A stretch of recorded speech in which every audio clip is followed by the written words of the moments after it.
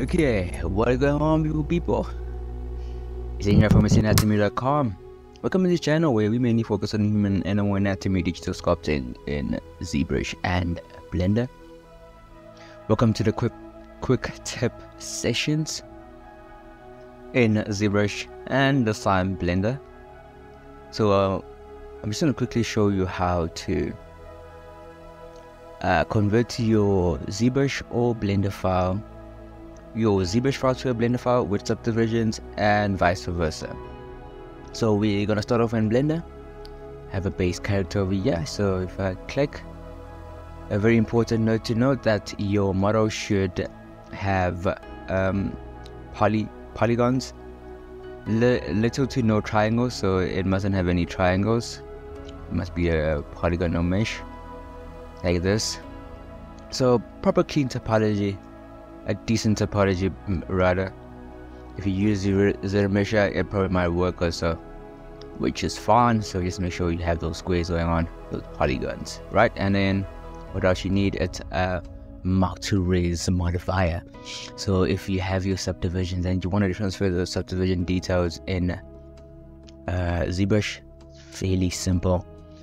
So if you were importing this from ZBrush, uh, uh, uh, high mo- high poly model, you would go to the unsubdivide. So I'm just gonna uh, show you in ZBrush how you would take this um, mesh with subdivision levels and transfer that to to be a ZBrush file with subdivision. So you click on the select the object and I'm, I'm just gonna export it as an FBX.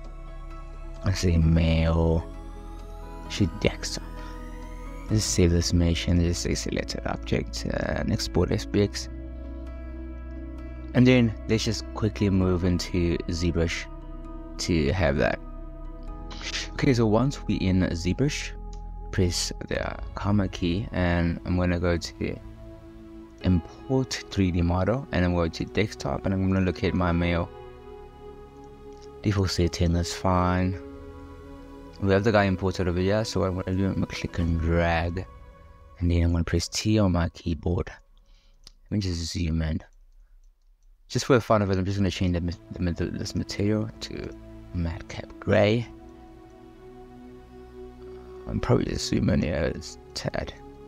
Okay so then we have our guy over here. You see he is very dense. Um, if I press shift F you can see how dense the guy is. So you want to export your very dense model into ZBrush.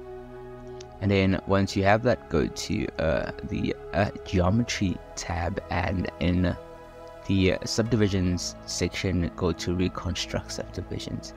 Remember in blender we had three subdivision levels? That's what you have and now you you have that those subdivision levels and then you, you can save this as a ZBrush file by Control S save the project file. And vice versa if you want to export yeah like your your ZBrush details let's say you have sculpted them in in ZBrush if you want to export your details like so you will go to the highest subdivision level and export the FBX file.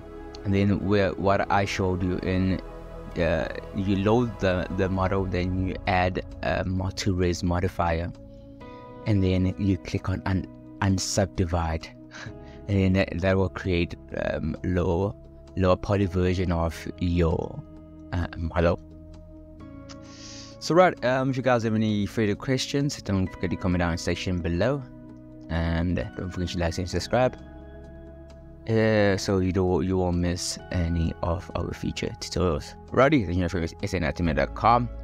See you guys in the next one.